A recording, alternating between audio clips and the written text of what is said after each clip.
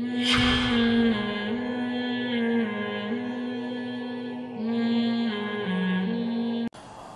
ইসলাম, আপনি লিখেছেন, দেশের বিভিন্ন প্রতিষ্ঠানের ড্রেস কোডের নামে দায় রাখা নিরুৎসাহিত করা হয়। দায় রাখতে হলে কর্তৃপক্ষ বরাবর দরখাস্ত দিয়ে অনুমতি নিতে হয়। অনেকে প্রতিষ্ঠানে, অনেক প্রতিষ্ঠানে হিজাবের ব্যাপারেও নিষেধাজ্ঞা আছে। একটি মুসলিম সংখ্যাগরিষ্ঠ রাষ্ট্রে এ ধরনের ড্রেস কোড কতটুকু যুক্তিসঙ্গত? ভাই রফিকুল ইসলাম, কোন অবস্থাতেই এটি যুক্তিসঙ্গত হতে পারে না।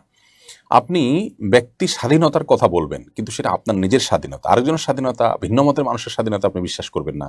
বিশেষ করে আপনার শিক্ষা প্রতিষ্ঠানে অন্য একজন দাড়ি চাচতে পারবে, কিন্তু একজন দাঁড়িয়ে রাখতে পারবে না। কেন?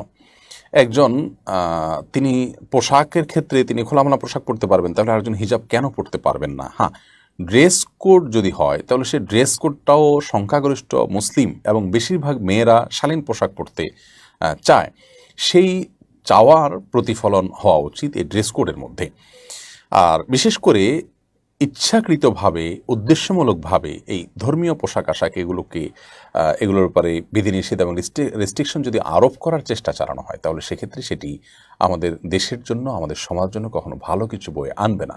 মানুষের ভিতরে ক্ষোভের তৈরি করবে এবং অস্থিতিশীলতার দিকে আমরা চলে যাব। বিধায় এক্ষেত্রে আমাদের শিক্ষা প্রতিষ্ঠানে যারা দায়িত্বপ্রাপ্ত, তাদের প্রতি আমাদের আকুল আবেদন থাকবে যে তারা যেন দায়িত্বশীল ভূমিকা রাখেন এবং সংখ্যাগরিষ্ঠ মানুষ দেশে তারা মুসলিম হন কিংবা হিন্দু, তারা কিন্তু শালীন পোশাকে অভ্যস্ত।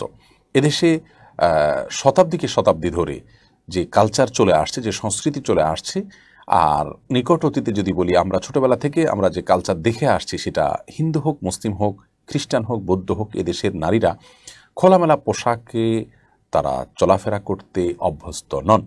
এটি আমাদের কালচার পোশাক একটা কালচারাল বিষয়। পৃথিবীর প্রত্যেকটা দেশের প্রতিটা অঞ্চলের মানুষের নিজস্ব সংস্কৃতি এবং কালচার বলতে কিছু একটা আছে। কোনো বিশেষ অঞ্চলের মানুষের প্রভাবে প্রভাবিত হয়ে তাদের তাদেরকে প্রভু মনে করে তাদের সব কিছুকে অন্ধনুকরণ করার যে একটা প্রবণতা, সেটি চিন্তা এবং আদর্শগত দেউলিয়াত্ব ছাড়া আর কিছুই নয়। বিধায় আমাদের শিক্ষা প্রতিষ্ঠানগুলোতে ড্রেস কোডের নামে ধর্মীয় পোশাক পরতে বাধা দেওয়া এমনকি একজন হিন্দু শিক্ষার্থী যদি হয়, তাকে তার ধর্মীয় পোশাক পরতে যদি বাধা দেওয়া হয় এই সবগুলোই কিন্তু আমার ক্ষুদ্র দৃষ্টিতে তার সাংবিধানিক অধিকারকে ক্ষুণ্ণ করা হয় বিধা এ বিষয়ে সবাইকে দায়িত্বশীল ভূমিকা পালন করতে হবে